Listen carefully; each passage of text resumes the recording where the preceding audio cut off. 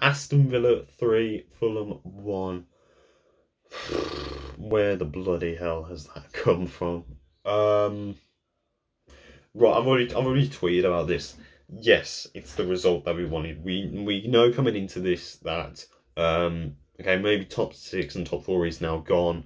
Uh, but let's push on. Let's try and get a good momentum games coming back into this. Um, and obviously, we're playing against Fulham, who, although they've been looking a bit much better in these last few games, ultimately the team we should be beating. Um, coming into it, uh, obviously, we all know the Grealish news that he's not playing. Um, there's two ways to look at it, but I think we'll probably end up discussing this in another video.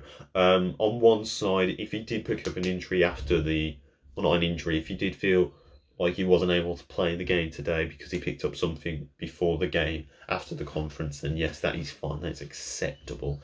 However, you know, we've had weeks of this now where we don't know the injury. We don't know how long he was going to be out for. A lot of this management has been absolutely garbage considering the stature of the player that we have here. Uh, I just think that fans should be letting a bit more know about this. Um, you know what I mean? We can understand if he's been injured, but don't just start saying, "Oh, he's at ninety nine percent fit. He's training. He's running. He's doing on the grass." You know, um, don't say that, and then when we come to the game, he's not playing. What are you meant to expect? We've almost been promised it. You know what I mean? Just sort it out. Management wise, it needs to be better. Um, but on the game overall, um, it was crap. Absolute crap. I tweeted it and I said do not close your eyes on that performance. Yes, it's the result that we're reading, and looking over all of Twitter, it's quite frankly annoying. You know, you score your goals, we win the game, and everyone's kissing ass just because we've won that game. Stop, cl- cl- don't close your eyes on that performance. It was absolute garbage. I was almost thinking they're thinking we're playing as if we're deliberately doing this, so when Jack Grealish does come back into the team, we play much better. It completely wipes out what this does, and we're all just going to forget about it. But ultimately, it was absolutely rubbish today, and I think really it was a lucky result more than a deserve because we were rubbish. You know, Fulham in that first half played really well. They were defensively really solid, shutting us down. But then again, really from us, we weren't creating anything. Had no shots on target until when we scored our first goal. Um, and it was just really unacceptable from us, you know. Um, and then obviously going into that second half, um, a really, really crap mistake from Mings. Um, you know, I think, as I've said, has been a really good player in these last few games, but I think today, as my, as my dad says, a mistake again Mings. You know what I mean? He does make that mistake. He has that in his game, and he's done it again, unfortunately. Um, but for me, in that sense, had the result been 1 0, I would still say, and I still say, I do think we need a centre half in someone with a bit more um, confidence and experience in themselves. Um, but ultimately, you know, that's fine. He did make up for it with the assist to Trezeguet's first goal, who I slandered. I did say I think he's still bloody um, not really that great, doesn't really score goals, doesn't really make any assists. Um, and these were his first two goals this season. Obviously, he hasn't played that much, but even still, come on. Um, but yeah, it was a nice bit of play there, obviously, to get the goal back in thinking, bloody hell, they've only gone and done it. And then obviously, a few minutes later, we're coming back again, and it's Trezeguet, you know, Keinan Davis does really bloody well to win the ball, uh, gets in a nice cross in, um, using his you know what I mean, as we've said about Keinan Davis, that big physical presence, using that and being mu- muscling, I think, tossing off the ball, winning the ball, getting in, more of a lucky cross in, Trezeguet finishes it. Fair play to him. But I will say, Trezeguet, don't do this thinking you're all, all this bloody good plays, years, and you think you're on fire.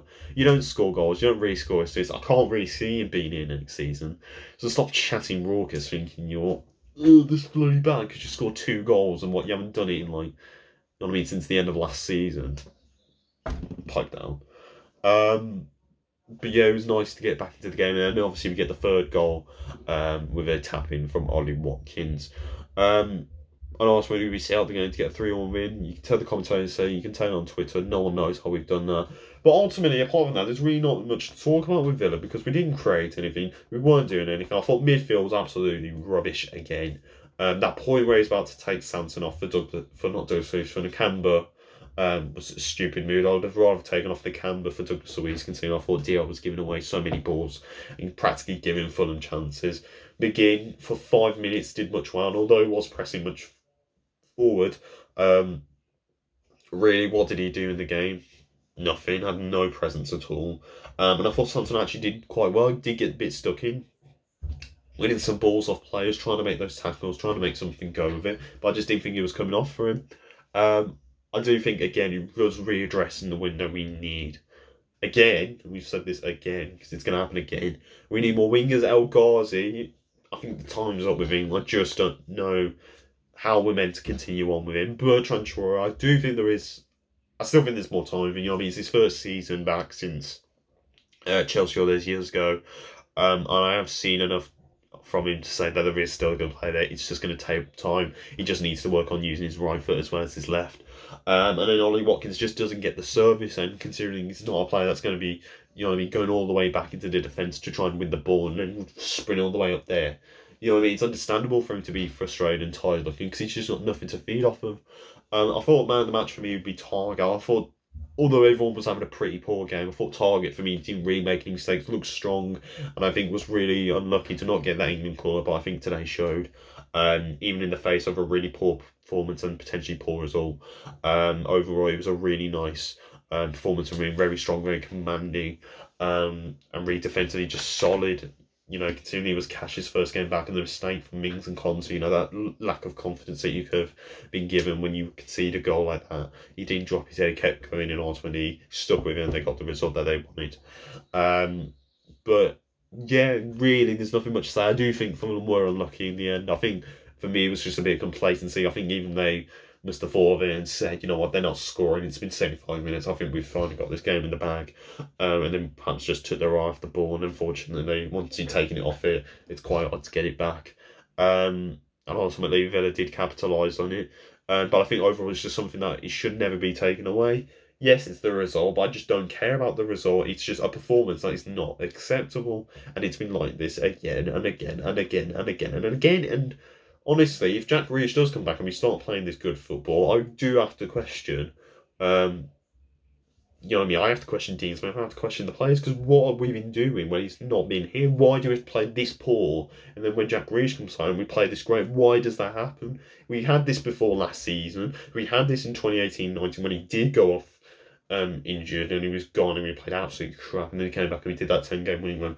Why does this happen? And it needs discussing. And if if it had it been that 1 0 today, I really would have been considering saying, well, not, I'm not Smith out, but you've got to consider what is Smith doing to Warren saying he can keep going with this team and he can take it because really, I don't know where we would have been finishing now if it wasn't for that result today.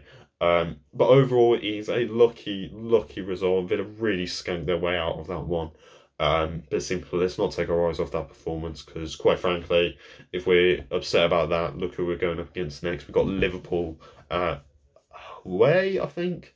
Um, so, you know what I mean? You have to get your, you have to get in shape there, lads, because otherwise, if you think this was bad, just wait till we go to Liverpool. You know, look like they could be getting some form back. Um, so yeah, we've got to step up. Um, and hopefully we will see Jack Grealish back for then. Um, but as I said, ultimately, lucky result tonight, but let's not take our eyes off that performance because that performance is absolutely embarrassing. That's been my instant match reaction to Aston Villa 3, Fulham 1. Leave us in the comments down below what you thought of the game. But without further ado, I've been Ben, up the Villa with the pride of Villa. Get in!